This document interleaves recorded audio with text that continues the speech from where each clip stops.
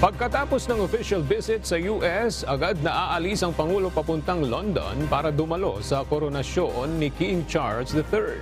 Ipinaliwanag naman ng Pangulo kung bakit kinakailangan niyang pumunta sa koronasyon. Isa sa pinakamalaking dahilan kung bakit ako pupunta ay kilala namin si Prince Charles pa ang pagkakilala ko sa kanya. At ah, kaming lahat eh ah, nung ah, namatay nga ang ah, si ah, Queen Elizabeth ay hindi ako hindi ako nakapunta. Pagkakataon rin anya ito upang makahanap ng oportunidad o oportunidad para sa Pilipinas. Ito'y sa pamamagitan ng pakikipag-usap sa iba pang lider ng mga bansa na dadalo rin sa koronasyon.